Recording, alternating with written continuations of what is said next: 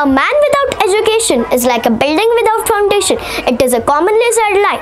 I, Kavya Sujata Shital Bachhav, studying in Six Thinkers, will tell you about why education is important.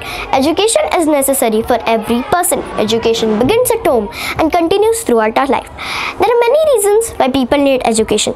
It helps them to learn new things, find good jobs, and lead a respectable life in the society.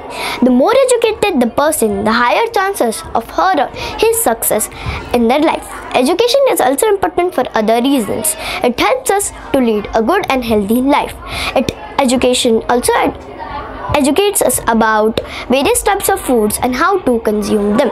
It also educates us about how to protect ourselves from diseases and bad habits. It is important for understanding the difference between good and bad things. Our teachers and our parents, they teach us how to speak our native language and identify things around us.